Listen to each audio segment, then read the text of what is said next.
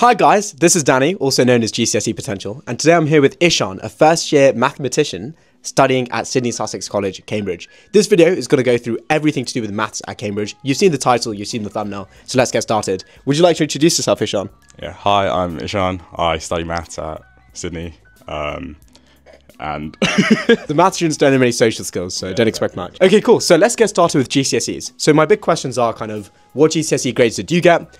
Um, what grades are they looking for for maths? How important are different GCSEs? Are there any ones which matter more than others? Um, yeah, just a general spiel. Yeah, um, I got five nines and four eights, and like they don't really care much about GCSEs. I think especially here over Oxford is what I've heard. But um, just like you want nines in like the science, eight, nine, eights and nines really in sciences, sevens. I know a guy who got like an eight in maths. Really? Um, yeah, yeah.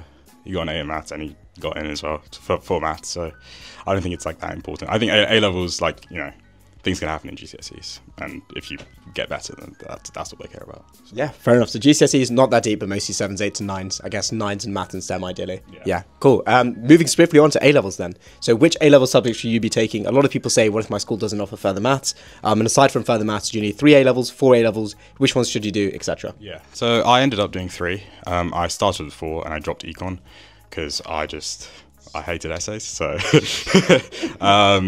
and yeah, so I did maths, further maths, and physics. Um, and you know, people do maths, um, FM, computer science, you know, and then like chemistry, stuff like that. They're all like quite common combos. Um, and yeah, it's just like STEMmy. If you do maths, further maths, I know a guy who also did English what? and like psychology. Like there's there's there's lots of things, but you know, maths, further maths, physics, like you know, STEM sort of things. Um, if your school doesn't do further maths, I do know people that like did their further at different schools and like they like travel to different but like you don't need to do that. If you self study further maths then it's like it's fine because you will need to know it for STEP um, so yeah so you basically do need to know further maths because of STEP but we'll talk about that in a bit um, i guess the only other question is like um, what kind of grades you need do you need the a star in further maths predicted etc yeah so yeah a star a star in maths further maths and a in like your third or aa in your last two subjects. Yeah, cool. So just two A stars in maths and further, and then the rest don't really matter that much as yeah. long as it's an A. Okay, cool. So I guess the next step of the application process is the personal statement. And the thing is, the personal statement is a bit weird because it's for maths, and like you don't really like. I don't know. What would you have to say? I don't think they read it much. uh, I heard like you know some people they just kind of like read it like very very quickly and yeah. throw away. Um, and most people get an offer. I think especially for maths, like uh, sorry, an interview, um, especially for maths because like you can't really judge that heavily you know your mathematical ability on a personal statement. But just like show show interest. Like you know everyone tells you not to care but you you will end up caring. So yeah it's like do do what you know your teachers tell you to do or you know what you think you know anything that shows interest just put it down like essays whatever. What did you do out of interest? I wrote an essay on maths the Tom Rocks Maths essay oh, yeah, competition. Yeah. um i went to a maths musical with my friends one time yeah. You put that in your personal statement. For that. Um, yeah, no. Um, and I can't remember what else did I do. Uh, NRICH, there's the NRICH website, um, which is run by Cambridge, and they have loads of like problems on there for you to submit. So I, I like spammed a bunch of those, like put solutions up, and then they submit them on the website. So yeah, just just any any kind of extracurricular maths you can do is good. Okay, cool. Mu- uh, musical's actually ridiculous. I'm gonna rinse you for that. Actually, gonna rinse you. Okay, cool. So the next stage of the application process is weirdly the interview because you do the admissions test, which is STEP afterwards. Yes. So with regard to the interview, kind of what comes up and how do you prepare and what specific resources and advice do you have? Yeah. Okay. So the interview, it's all maths. You know, you sit down, they go, we're going to ask you maths questions. um, uh, I had two interviews, um, 30 minutes each. And like roughly, it was like two to three questions per interview. Um, and it's it's just like short little maths puzzles. Graph sketching is quite common. Um, but there's loads of resources online. There's a guy called Vishal Gupta oh, okay. yes, yeah, yeah, no, he has an amazing website. I will link it in the description. Don't worry. And in that website, there's also the TBO booklet, which has like hundred and something, 150 questions, interview questions, mostly harder than I'd say real interview questions. So if you just like do those over and over, like you'll get better. It should be fine. Those are the main things. Anything else for interview? Any other advice think, and tidbits? I think practicing like with friends is very helpful. Um, just just like loads of practice with friends, talking to yourself, even like while doing like any maths problems. Just so because the interviewer wants to know what's happening inside your head, and people that don't talk, you know, they can't really see what you're doing, what your thought process is, and responding well to hints and stuff like that. Yeah. Yeah, so just a lot of practice, being able to verbalize exactly what you're doing, so why you're differentiating it like this, for example, stuff like that. Um, but yeah, I'll link all the resources. It's mostly it. Um, any other things that you know about the interview, like different experiences from your friends and stuff, or is it pretty much just that? Yeah, so I mean, there's in person versus online. Um, some in person interviews they have like an online test, like a test that you do beforehand. So, for example, Trinity do, I think uh, Downing have a little test beforehand, in Pembroke. Um, and then you bring your answers into the interview, and then you talk it through with the interviewers. Or for me, it was just like the interview asked you the question on the spot, and like that's about it. But I think fifty percent around about get offers after the interview. Really? Yeah, the STEP offers here. Okay, yeah. So here's here's the big one now. STEP. Oh my god. So, oh, how do I even describe? Okay, look. I'll be honest, yeah. I got an A star in maths and an A star in further maths. I got like 99% of my pure papers. I'm not saying this to flex. The first time I saw, saw STEP paper, I genuinely wanted to break down. I, I, I, I just can't do it. I actually can't do it. Yeah. Like, it's, it's just so difficult. STEP is one, I think it's probably the most difficult exam an 18 year old can sit. I can pretty much say that with confidence. Anyways, you have to get, so the grading system works like, it goes, does it go down to a four?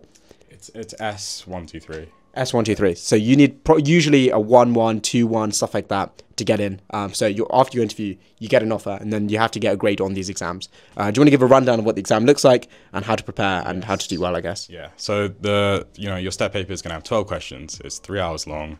There's eight pure questions, two stats questions, two mechanics questions. Um, you roughly take thirty minutes per question. Each question is twenty marks. And and yeah, there's two of them during your A levels.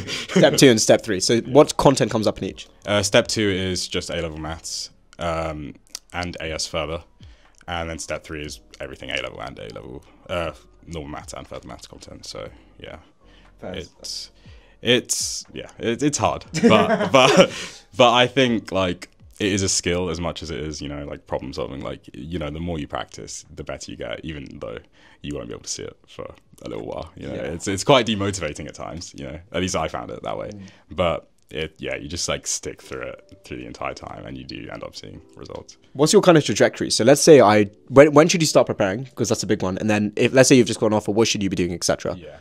So I there's the uh, STEP support program, um, which has like certain modules, um, and they're quite like nice. They they have like a warm up. They have the main question. They have like a warm down. Um, I did some of those uh, from year 12 into year 13 over the summer. I don't think that's very important to do. Um, and most people, I'd say, start around the like start of year 13 or January, even after they got their offers. Um, but like, you know, the earlier the better. Uh, that's the best advice, I think. But don't worry too much, uh, like about people who start like in year 12, like start year 12. Like, don't worry about that. Um, I yeah so around interview times i stopped you know doing stat practice and just mainly focus on interviews after i got my offer like that's when i kind of just started like you know papers i started from the year 2000 and I just kind of like worked my way up to 2023 or whatever You just did like basically every paper.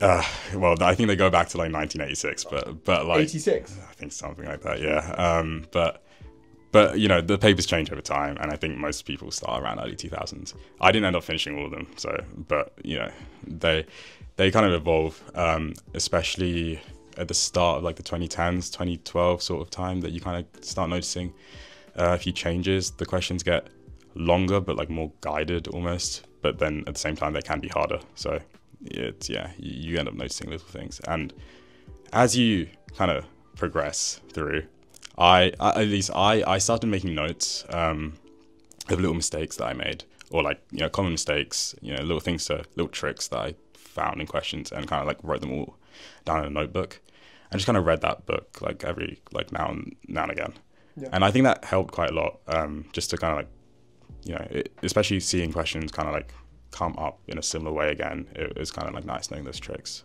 Yeah. Yeah. Okay, cool. So yeah, lots of tricks there. Any other resources aside from just STEP, or is it literally just STEP papers mostly? I think I just I mainly did STEP papers. I did um, like friend with practicing with friends as well. Um, I had one other friend doing it in school, so it's quite nice to have a bit of motivation, a friendly competition. um, but yeah, I I genuinely think it's just papers. That's that's pretty much what everyone does. I think. Fair enough. And if I've got a question wrong, for example, and I'm not really wrapping my head around it, what would you suggest that I do? Um, you probably okay. I very impatient and I would look straight at the mark scheme, but um, you shouldn't do that. Uh, I and I, I did train myself to stop doing that. I you just need to kind of like, you know, if if you're not getting anywhere, do take a break. You know, whether that be you know a day or twenty minutes, you know, depending on how much time you have. But like you know, a few hours, and you will work on it like subconsciously, um, and it is much it's much more rewarding Yeah. doing it yourself than you know checking the mark scheme every single time. But yeah, I, I think do sit with it, and you have to be patient with STEP. Like, yeah. Everyone who goes through STEP and does well is traumatized. Um, so if you look at the mark scheme and you don't understand it, is there anything else that you could suggest? Um, whew. the STEP mark schemes are quite helpful. Um, they are quite like quite detailed. Um, again, Vishal Gupta's website should have a, like a lot of the mark schemes because some of them are a bit hard to find, especially the earlier ones. But they are they are really helpful, and they do have mark breakdowns as well, um, which which sometimes the solutions don't have. Uh, but there, there are various solutions online um, that you should be able to find, um, and they they're all they do things in different ways at times. So yeah, it's definitely worth to Any other advice that you have for STEP? just yeah, it's just practicing. Okay, like just it's like, like what is it like four months, five months from January to you know June to when you said it. It's just yeah, it's consistent. Yeah. Yeah, great. The next question I have, and kind of like the final bit now, is college choice. Because I know that when you apply to colleges, there's like very different requirements for maths. Like there seems to be a, a very big range. So, kind of, how did you pick a college, and what do you recommend looking at or considering? Yeah, so maths. Um, there's some colleges have like flexible offer schemes, um, depending on individual circumstances. Um, so Sidney is one, Lucy Cavendish, Downing, Emmanuel, Girton. There's there's a few of them. You you were able to look uh, find out on the website, um, and they have a flexible step offer, which is you know either it's the regular offer, which is two A stars, A, and a one one in both papers, or if you get three A stars, you can have a one in one paper and like a two or a three in the other paper, for example. Um, I applied to Sidney to try get that offer, but I did not. yeah. Um, but yeah, so I think it is worth you know if if you're you know you you think that that might appeal to you, and you know there are circumstances involved, then that's Is it like worth- contextual stuff? yeah, yeah. Um, I think that's worth a try. Um, if not, again, just location, some like facilities. So, for example, one of my friends, he he does maths. He applied to Churchill because like they have a breakdancing studio there, and that's the only What? that yeah they have a, that's the only like college with like a breakdancing like facility. Strange place, strange place, man. So um, yeah, so like it, yeah, check it out. Check what you know if you have any hobbies and the college like kind of facilitates that. Check it out. Trinity, yeah, I was gonna ask. Like, everyone seems to apply to Trinity. Like, what? Um, it's, I think it's just like internet, like a lot of international, like Olympiad kids. Oh, you know, they they they see Trinity and they want to apply there. Um, and it's really lovely. It's it's a lovely place. I, I go there a lot. Um, but you know, it. I don't think some of the you know, there's there's some mathematicians I know in other colleges that are just as good. It, I don't think it really matters that much. Yeah. Yeah, I mean, in terms of applying to Trinity, do you think it's more competitive? Do you think it doesn't matter that much? Um, I think maybe it is more competitive, especially more like an interview kind of. Um, and I think they do. I don't know. You know, a lot of people there who go there, they probably have done Olympiads. Yeah. That's you know, is there a correlation? I don't know. Like, Yeah, maybe there but is. maybe there is. But The Olympiads are crazy. yeah, but um, yeah. I mean, like again, the pooling system does exist. So it's, Yeah. Well, that was all. Um, I guess the final question I have is, how are you finding it? Is it good? Yeah, it's good. It's good. It's hard, but it's good. And you know, there's a lot of people you get to spend time with, and There's a lot of mathematicians, aren't there? Yeah, there are 270. Holy moly! Um, do they all scroll reels during lectures, or is it just you? Uh, There's like a hundred. I don't know what the other like 150. I don't know what they do, but um, yeah, no, it's it's interesting to be in like such a place like where people are like locked in half the time. Yeah. Yeah. Very nice. Well, thank you very much, Ishaan, for coming on. Hopefully, this video has been helpful. Any questions, put them down in the comment section below. Either Ishaan or I will answer. And that's all. Thank you so much. Best of luck. Thank you.